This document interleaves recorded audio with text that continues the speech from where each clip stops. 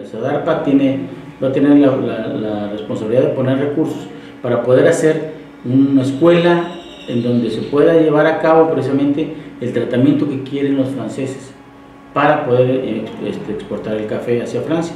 Pero no nada más se le va a dar hacia Francia, ¿no? Podría cualquier otro país o cualquier otra persona que quiera venir a comprar café ya tendría cierto grado precisamente de darle un, un, un extra al café, este, una parte importante que es eso, ¿no? no nada más que se quede en cereza, sino que vaya siendo en pergamino verde, en pergamino ya que vaya precisamente cambiando la actitud y que se pueda lograr hasta el envasado como lo quieren ellos y poder de esta manera lograr que los, que los mercados internacionales vengan hacia Veracruz. Eso es lo que queremos, que los mercados vengan a Veracruz a llevarse el producto que sea el producto con sanidad, que sea producto vigilado, pero sobre todo que sea un producto que tenga la calidad que ellos requieren.